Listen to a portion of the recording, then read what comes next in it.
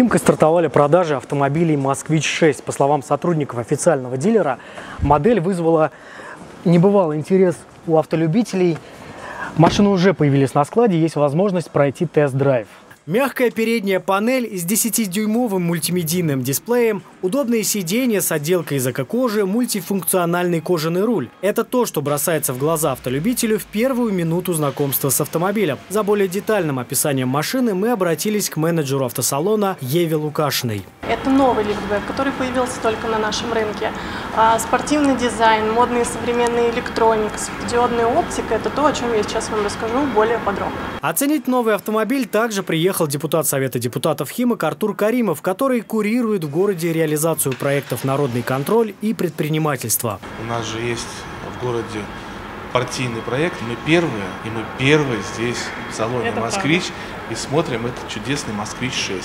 Начинаем с экстерьера. «Москвич-6» – это среднеразмерный переднеприводный пятидверный лифтбэк. Длиной 4 метра 77 сантиметров. Дорожный просвет 14 сантиметров. Объем багажника 540 литров. Кузов оснащен люком во всех комплектациях. Установлены передние и задние парктроники. Камера широкоформатная да, камера широкоформатная в зависимости от комплектации, то есть где-то будет камера только заднего вида, в комплектации повыше будет камера кругового обзора. На данный момент есть две комплектации «Москвича-6» – «Комфорт» и «Бизнес». Автомобиль оснащен полуторалитровым двигателем с турбонаддувом. В более бюджетной версии двигатели мощностью 136 лошадиных сил идут в паре с вариатором. В версии подороже 174-сильный мотор работает в паре с шестиступенчатым роботом. Расход составляет около 7 литров на 100 километров.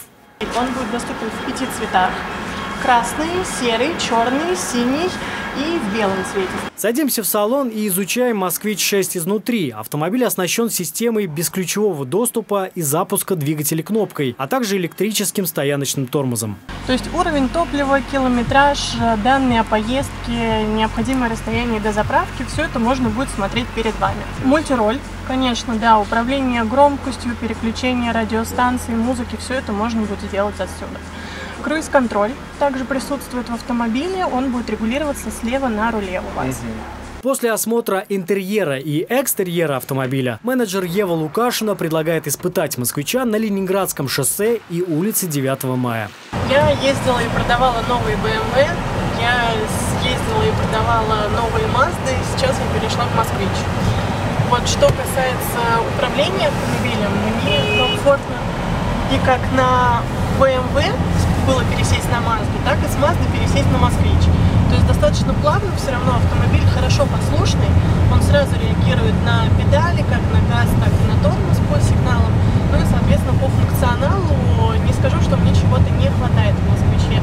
По словам менеджера, помимо спроса рядовых автолюбителей на машину, а это в среднем около 10 клиентов в день, моделью также активно интересуются таксопарки и каршеринговые компании. По итогу осмотра «Москвича» подводим итог. Машина подходит самым разным категориям автолюбителей. По словам депутата Артура Каримова, новый автомобиль придется по душе представителям власти. «Москвич-6» Я думаю, что это уже достойная замена тем иностранным автомобилям, которые сейчас в автопарках и а, чиновников и других госструктур. Химчане смогут сами оценить новый автомобиль, провести тест-драйв, а также узнать о льготах и субсидиях на новую модель в автосалоне «Москвич» в Химках. Александр Сергеев, Дмитрий Бочаров, Сергей Косолапов. Новости Химки ТВ.